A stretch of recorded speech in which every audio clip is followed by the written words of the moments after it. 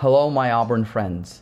I'm thrilled to be with you again virtually and celebrating the wonderful Auburn Symphony. I know this is a special event and I have prepared something very special for you. I'm playing a waltz from Polina Nazaykinskaya's new opera that I'm writing a libretto for.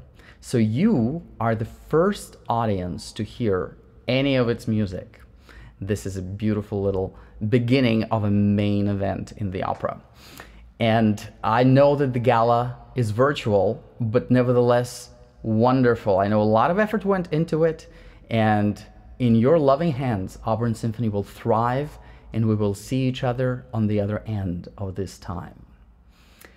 The auction items are fabulous, so uh, bid and give as generously as you can. Music is healing for all of us.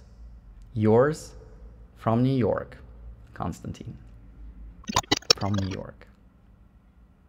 Live on Saturday night for crying out loud.